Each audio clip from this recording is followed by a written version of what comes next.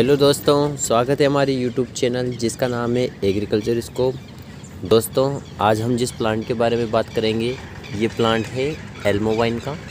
एल्मोवाइन means ये वाला जो प्लांट होता है, आप देख लीजिए, इस प्लांट को जाना जाता है अपनी ग्रोथ के लिए।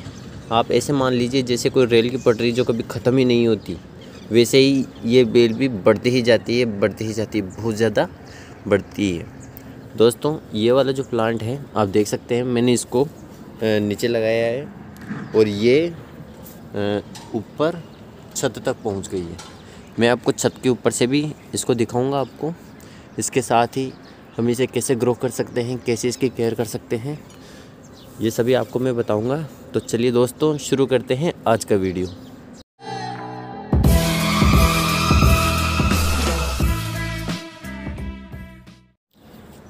तो दोस्तों, ये वाला जो प्लांट है, जो एल्मोवाइन प्लांट है, इस प्लांट की अगर हम बात करें तो इस प्लांट को जाना जाता है अपनी ग्रोथ के लिए। आप देख सकते हैं दोस्तों, इसमें जो इसकी ग्रोथ है, वो बहुत अच्छी होती है और देख सकते हैं इसमें बहुत सारी जो इसकी ये ब्रांचेज़ हैं, वो ये बहुत ज़्यादा फैलती है। अगर मान लीजिए आप कोई ऐसी बेल के बारे में सोच रहे हैं कि जो बहुत ज़्यादा फैलती है और आपके घर को इनको कवरी कर दे। इनफैक्ट बहुत सारे लोगों ने तो इसी, ये जो बेल है, इसी की एक तरह से दीवारें बना दी और उसकी कटिंग करके बहुत ही अच्छा शेप दिया है। आप देख सकते हैं इसकी ग्रोथ कैसी है। मैं आपको इसकी दूसरी साइड भी बताऊँगा।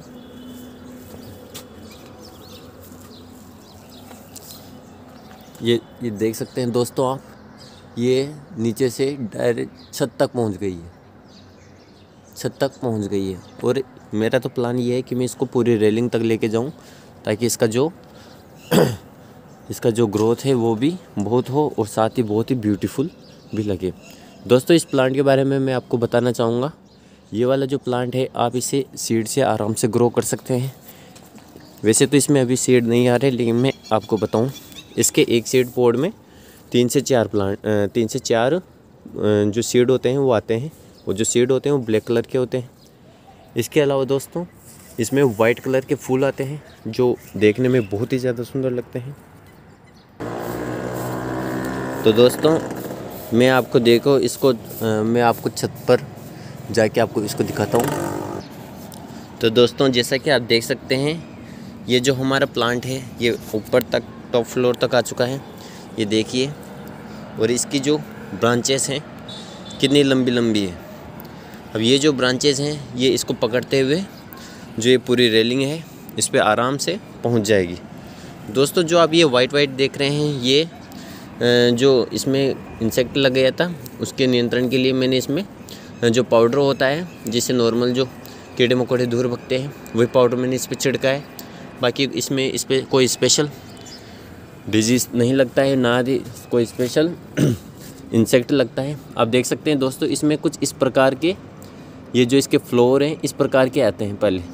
उसके बाद में जो फूल हैं, वो वाइट कलर के हो जाते हैं और उसके बाद में कुछ टाइम बाद वो मुरझा जाते हैं। अब दोस्तों, हम बात करते हैं सबसे पहले इस प्लांट को आप कैसे उगा सकते हैं। तो दोस्तों, आप इसको उगाने के लिए इसकी सीड का प्रयोग कर सकते हैं।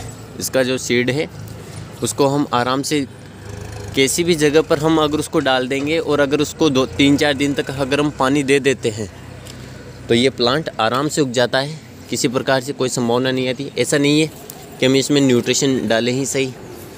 मैंने इसमें जैसे बारिश का सीज़न था, बारिश का सीज़न में तीन चार बीज डाल के तीन चार बीज डालने के बाद मैंने इसमें पानी डाल दिया था, जिससे ये प्लांट आराम से ग्रो कर गया। इसके अलावा दोस्तों, देखने में काफ़ी सुंदर लगती है। ऐसे लगती है जैसे बहुत ही सुंदर लगती है ये बेल, बहुत ही ज़्यादा प्यारी लगती है। जब ये एक बार पूरा कवर कर लेती है तो उसके बाद में और भी ज़्यादा सुंदर लगती है। और दोस्तों, बात करें हम अगर इसके फर्टिलाइज़र की, कि इसे कितने फर्टिलाइज़र की रिक्वायरमेंट होती है तो दोस्तों, इस प्लांट को कोई ख़ास ज़्यादा फर्टिलाइज़र की ज़रूरत तो नहीं होती है। लेकिन आप साल में अगर हम इसे चाहें तो गमले में भी लगा सकते हैं।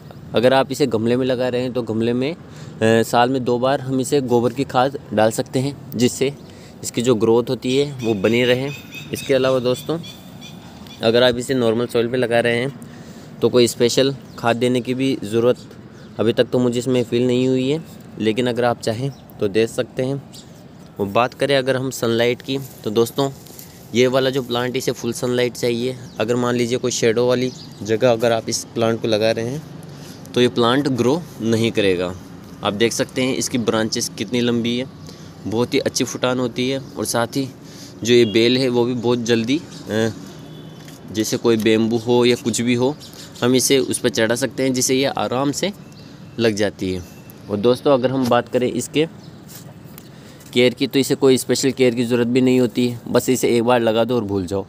बस हमें ये ध्यान रखना है कि जो आवारा जानवर होते हैं, उनसे हम इसे प्रोटेक्ट करें। इसके अलावा तो और किसी तरह की कोई बेल इस प्लांट को ज़रूरत नहीं होती है। अगर आप ऐसा प्लांट ढूंढ रहे हैं जो बहुत ज़्यादा फैलता हो और बहुत ही ज़्यादा सुंदर लगे। तो ये एल्मो वाइन है, इससे बढ़िया कोई और विकल्प नहीं हो सकता। मैंने इस रेलिंग को ढकने के लिए ही ये वाला जो प्लांट है ये लगाया है ताकि ये पूरी तरह से ढक जाए और उसके बाद में ढकने के बाद ये जो रेलिंग है, बहुत ही ज़्यादा सुंदर लगे, घर भी डेकोर हो सके। तो दोस्तों, ये थे आज का हमारा वीडियो एल्मो वाइन के बारे में। आपको ये वीडियो कैसा लगा मुझे कमेंट बॉक्स में ज़रूर बताएँ। वीडियो अच्छा लगा तो चैनल सब्सक्राइब करें, लाइक करें, शेयर करें और हमारे जो दूसरे किसान भाई और मित्र हैं, उनको भी भेजें। तो दोस्तों, अब मिलते हैं अगले वीडियो में। तब तक के लिए बाय